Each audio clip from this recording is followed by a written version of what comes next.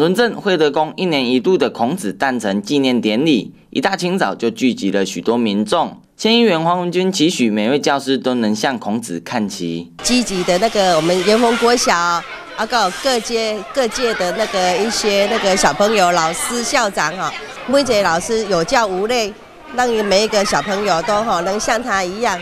透过这次的祭典，不仅要庆祝孔子诞辰，县议员廖子佑更感谢所有教职人员平时忙于教育的辛劳。透过这个祭典，要来庆祝啊，也纪念我们的至圣先师孔子啊。同时嘛，是就着这个典礼嘛，感谢我们所有的教育界的呃所有的老师、教职人员啊，常年来的辛苦。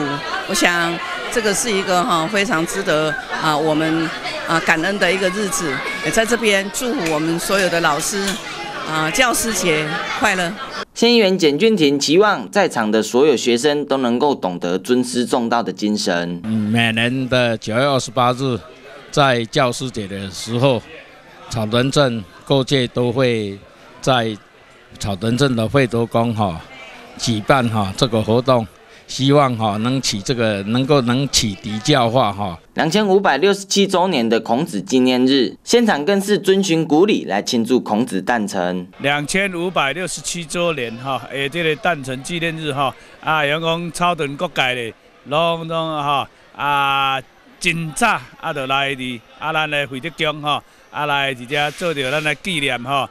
隆重遵遵循呐，这个古礼啊，吼，啊来做着吼，啊咱咱对啊这个至圣先师哈，啊来纪念。一年比一年更盛大的祭典，县议员李永宏也希望能够落实尊师重道的精神，来做着这个最康的这个典礼，爱当讲啊一年比一年的规模更较盛大啦，吼，啊这嘛已经是一个传统，啊咱对这个尊师重道的这个。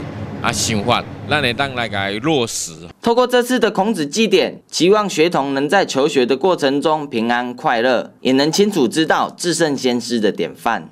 记者刘永胜、草屯采访报道。